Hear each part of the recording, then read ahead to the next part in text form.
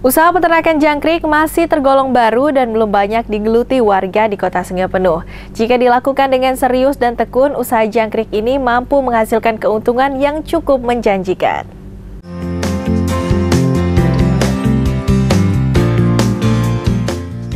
Usaha peternakan jangkrik menjadi pekerjaan yang cukup unik dan jarang dilakukan orang banyak, khususnya di kota Sungai Penuh.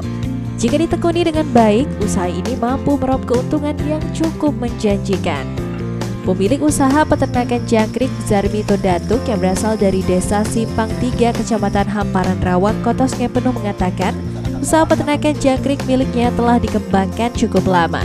Selain menjadi hobi, budidaya jangkrik juga dapat menghasilkan pundi-pundi rupiah.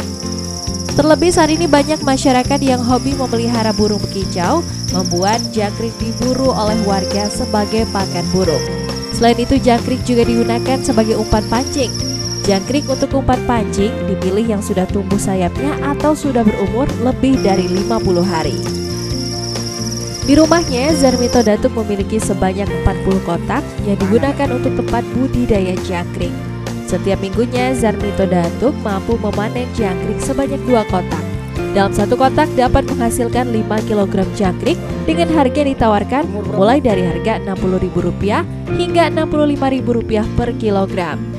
Dalam satu bulan, Zarmito Datuk mampu menghasilkan omset lebih dari Rp2.500.000. Pelanggan tidak hanya berasal dari kota Sungai Penuh dan Kabupaten Kerinci saja, namun jangkrik yang dimiliki oleh Zarmito Datuk juga dilirik oleh pemesan luar daerah seperti dari pesisir selatan Sumatera Barat.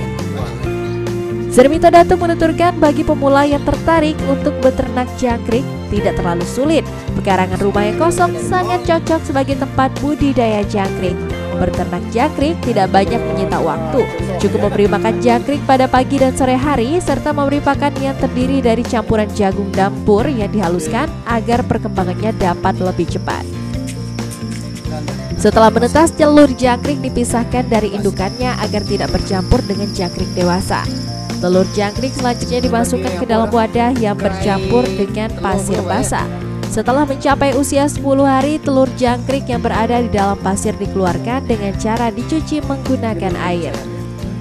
Langkah selanjutnya membungkus telur jangkrik yang sudah dicuci dengan kain, kemudian didiamkan selama 3 hingga 4 hari. Proses ini disebut proses perubahan dari telur menjadi larva atau anak jangkrik yang masih kecil. Jika sudah tumbuh menjadi anakan jangkrik, maka cukup menunggu waktu selama 42 hari agar jangkrik bisa dijual kepada pelanggan. Ya dibilang susah nggak susah ya, susah-susah sulit lah. Nggak, ya gampang lah urusannya asal ini kan yang kan eh, apa namanya tergantung orangnya juga mau ternak kan tergantung orangnya ke apa di apa itu. Kalau bapak berapa kota pak punya nih?